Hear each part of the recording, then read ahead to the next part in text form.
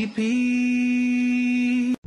There is a need to see what Islam says about human rights, about human rights. kindness and care, justice for peace, human brotherhood. The book of Allah, the glorious Quran, and the Sunnah of the Prophet sallallahu alaihi wasallam. protecting humanity at large and promoting peaceful coexistence. These are the two main sources for getting the human rights. Dr. Ahmad Ibn Saifuddin Islam has come with a complete system of protecting human rights under the Sharia. Under the Sharia. realized the progressive Islamic insights in human rights, a Muslim perspective, every Monday at 7 p.m. and repeat telecast at 12 p.m. UK on Peace TV. It's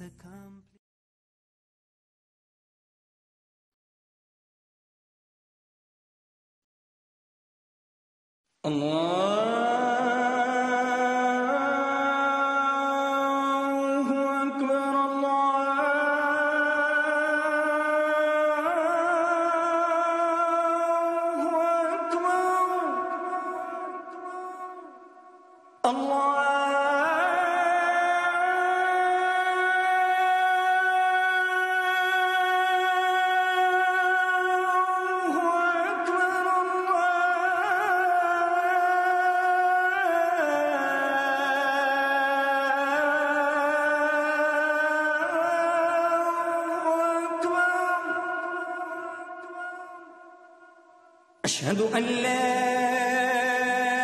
إله إلا الله.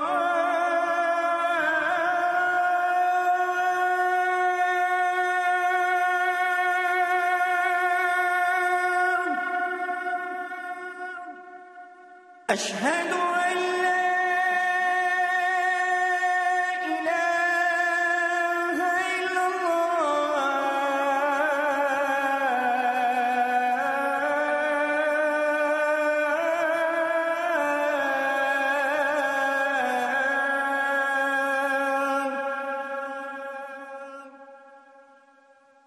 أشهد أن محمدا رسول الله.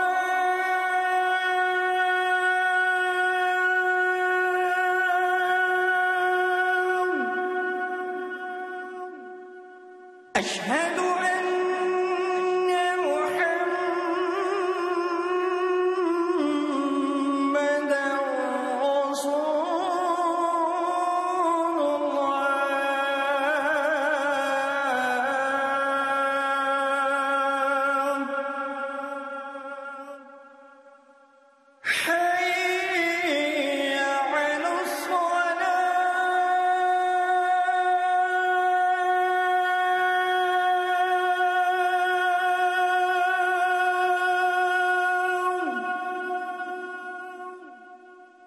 حي